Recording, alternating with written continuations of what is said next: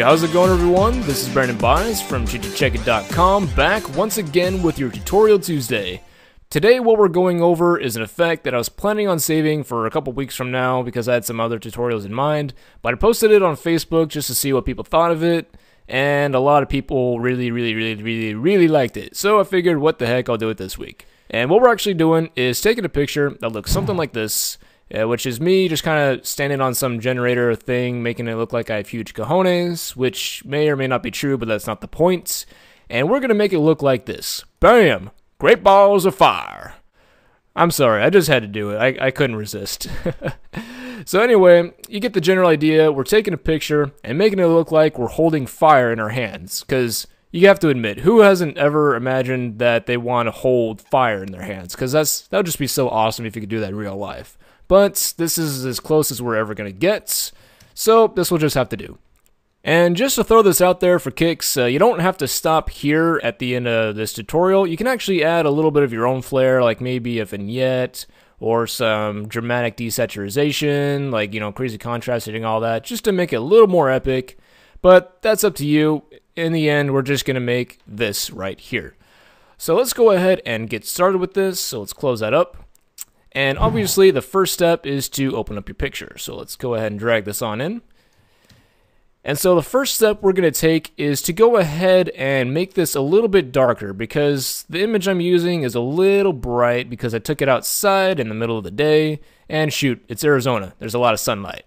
So let's start off by adding the levels adjustment layer on this right hand side. And I'm just going to put the midtones down to about 0.5. And that's going to bring down the, the shading a lot. But you know what? That's what I want, so we're okay. And so obviously, when you put fire in your hands, you can assume that there's going to be a little bit of a glow around them. So let's go ahead and mask off that little bit of the levels adjustment layer to make it look like there's a little bit of a glow. So let's paint in black right there and black right there on the mask of the levels adjustment layer. So that way the the levels adjustment only applies to everything else except for that little spotlight around the hands. So with that out of the way, we're going to get right into this and go ahead and bring in our fire. So we're just going to use this uh, little bit of fire right here. I've used this in a previous tutorial and I figured I'd use it again because, eh, what the heck, it's free and I won't get sued for copyright infringement, so what the heck. So just make a free account here and go to the link in the description. And so let's go ahead and use this first little image right here. Click the download link, but it's just going to open in another page. So what we'll do is right click, copy the image, swap back to Photoshop, and paste it with Control V, or Command V if you're on a Mac, of course. And so let's go ahead and just rename this uh, Fire 1, and we'll put that into a group by hitting Control G, and let's just rename this Flames.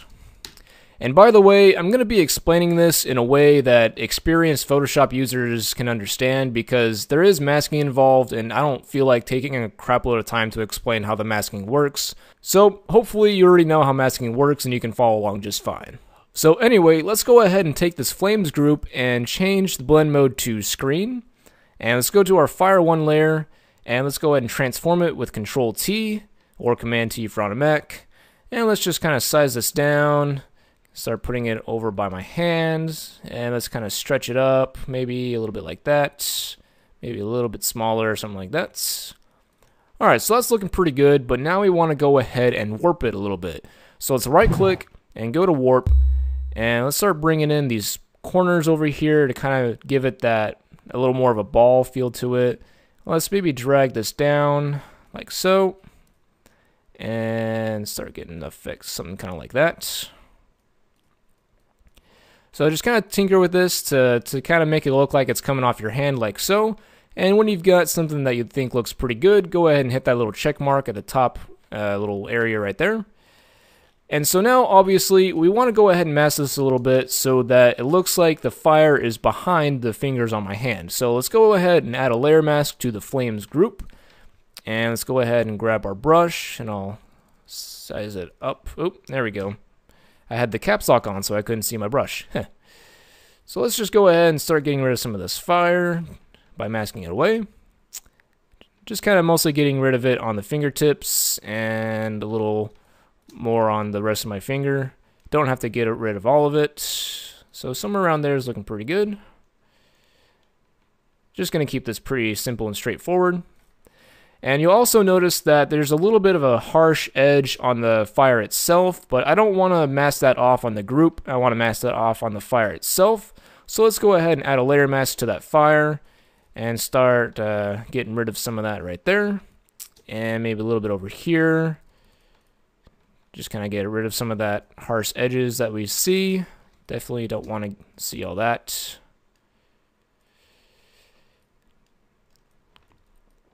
You know, let's just get rid of all that.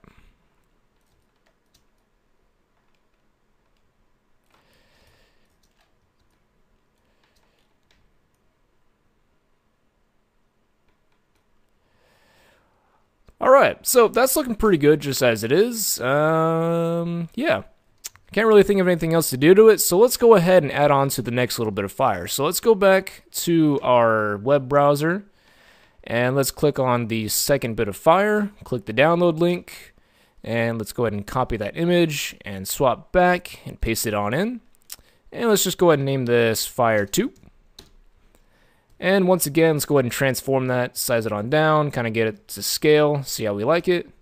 Maybe we'll just drag that down, maybe squeeze it a little bit. And please try not to make that into some cruel joke in the comments, because, come on, you're, you're people on YouTube. You got better manners than that, right? Right? Okay, maybe not. So anyway, uh, I'm just going to go ahead and fast forward through this part a little bit just so you don't have to hear me rambling on and on as I go through all these little bits and pieces here and there as I just tweak this. So I'm just going to fast forward and see how this goes.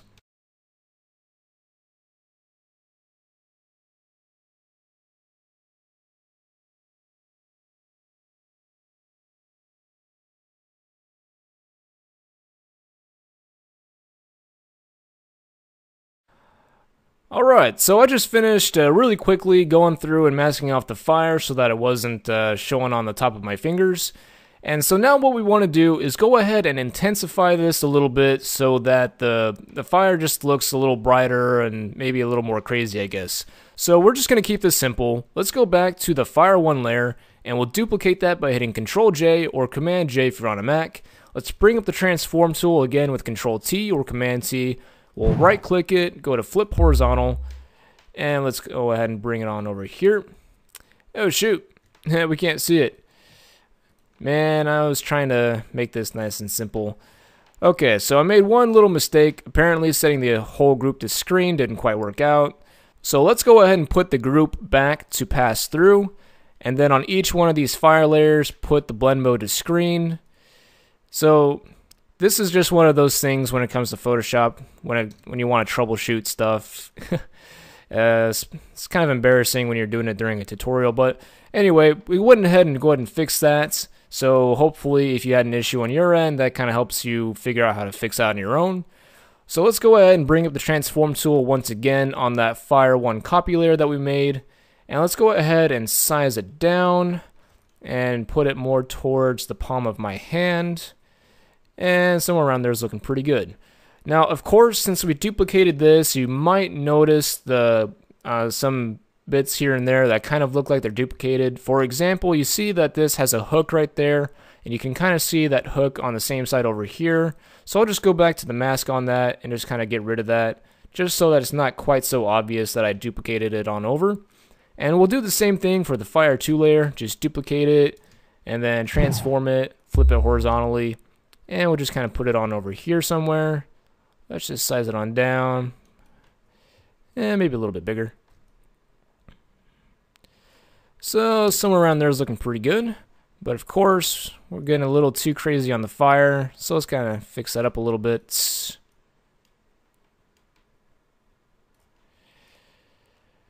And let's see, maybe get rid of some of that fire over there. And we're looking pretty good. Alright, so now that we've got our fire in place, the next thing we want to do is go ahead and intensify the glow around it. So let's go ahead and close up the group for the flames, and let's make a new layer, and let's just call this glow. And so with your brush tool, with your foreground color set to white, or black, or green, or orange, or whatever the heck you want, just go ahead and make it about the size of your palm, or maybe a little bit bigger, and click, and click again on the other side. And what we're going to do is put the fill all the way down to 0% and give this layer a color overlay. And we're going to set the blend mode on that color overlay to color dodge. And then we'll click this little red box and make it more of an orangey color and just kind of get it to a point that you think looks pretty good. And I think that looks good just as, uh, as it is. And if you really don't feel like making up your own number, the one that I'm using right now is FF4200. And so when you got that, go ahead and hit OK and hit OK again. And we're doing pretty good so far. So the next thing we're going to add is a little bit of a color correction on this, or a color balance, I should say because we've got red and orange flames going on, but I'm still pretty, uh, I still got some tan stuff going on around my shirt and my skin and all that. So let's go ahead and add a color balance up here, give that a click. And the layer mask on that is, right now is set to white. So let's go ahead and fill that in with black by hitting Alt Backspace or Option Delete if you're on a Mac, assuming you've got black as your foreground color. And so then uh, let's just go ahead and tweak this a little bit. So let's put the red up to about somewhere in the 40 or 50 range, and then put the yellow down to maybe around 20-ish, somewhere in there. And then with your layer mask selected on the color balance, just start painting in uh, around the side of your shirt, maybe around your hands. And then if you so choose, you can put down the opacity on your brush and start adding in a little red on the rest of your shirt and maybe your pants and just things of that sort. And if you're really meticulous about it, you can go back and swap your foreground color back to black and get rid of the coloring that's being applied to the background, like in the in the sky and all that. So, but that's kind of up to you. Uh, personally, I don't want to spend a whole lot of time on this. And let's just kind of take a step back and see how it looks. So let's do a little before and after. So just turning the, the layer on and off, I actually really like how this is looking. So I've got the midtones uh, with a plus 43 on the red and around minus 19 for the yellows, and I think that's looking pretty good. So there's one more thing that I kind of want to add to this, just kind of add to it a little bit, and that's to make the fire itself look a little more wavy and maybe a little blurry.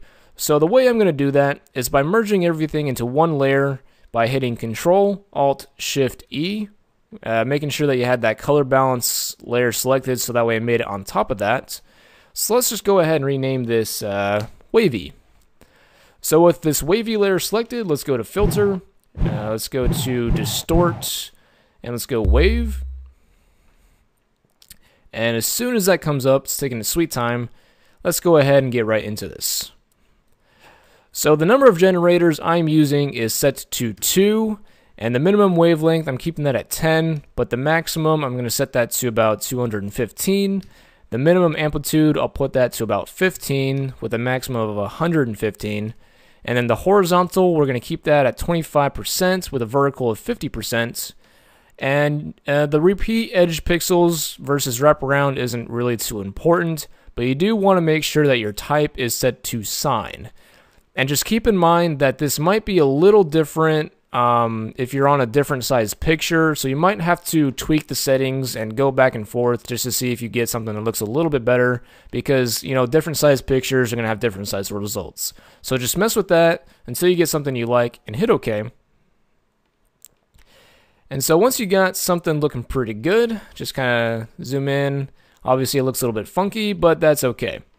So with the wavy layer selected, go ahead and add a blank layer mask on it by alt clicking the uh, layer mask icon or option click if you're on a Mac, I believe.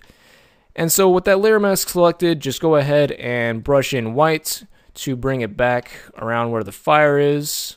So everything around there and everything around there. And of course, you can always go back and get rid of the distortions on like the arms and the shoulders and all that. And of course the hands. Unless you really like that, you can probably bring that back if you think that looks kind of cool. I don't know. Up to you. Personally, I think it looks a little too funky. So I'll just kind of get rid of that. So let's just do something like that. It might be something good to keep there because obviously the the waves of the fire are going to kind of distort like the air around it. So it might be something kind of good to keep there. So anyway, once you got that there, you can either keep it or leave it, or maybe you can change the opacity down to about 50%, just so that it kind of blends and kind of blurs it a little bit, makes it a little bit more, uh, I don't know, a little more interesting, I guess. But what you do with that is completely up to you, not entirely necessary. Alright, so with that, you should be done. That's all there is to this tutorial. So like I said, I kind of went through this in a way for experienced users to understand. So if you don't really know how masking works and you really want to do this, then I suggest you go look up some tutorials on how masking works. There are some pretty good tutorials out there already. So anyway, I guess I'll go ahead and do my little ending spaz or whatever. Uh, go ahead and visit us on Facebook if you like doing these little uh, Photoshop tricks and all that and you want to join in on the community. We're always welcome to new people. And of course, if you like this video, please like it, subscribe if you haven't already, comment, share with others, all that good stuff. Just kind of help us out to get a little more, a little more publicity, so that way we get a little more revenue. Alright, so anyway, jokes aside, I hope you enjoyed this tutorial, and hopefully I come up with something interesting for next week, but until then, enjoy this tutorial and your other effects, and I'll see you next Tuesday.